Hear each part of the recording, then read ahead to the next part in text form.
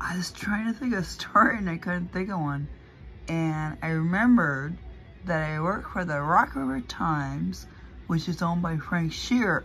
And Frank Shearer's mother was Irish. And Frank went down to Georgia. he didn't fight the devil.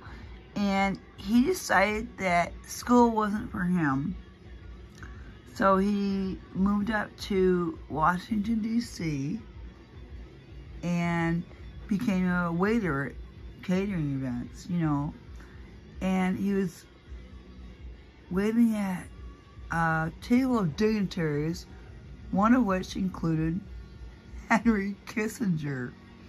And he happened to be passing him some water or a plate of food, and he overheard Henry Kissinger saying, These Americans, they're all sheeple.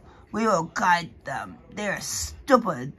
And Frank was an Irishman. He was going to tell him off, and he, he walked away with a platter of water, and somebody tapped him on the shoulder. He turned around, guess who it was? Gary Cooper. And Frank was like, and Gary Cooper said, son, I don't think you want to say anything right now. Why don't you go back to the kitchen and finish doing your job tonight? And Frank skittered back and he said, yes, Mr. Cooper, yes, Mr. Cooper.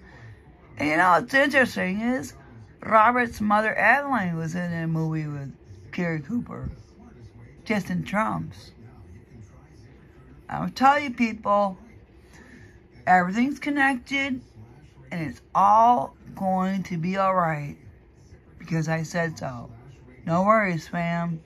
It's all to be alright.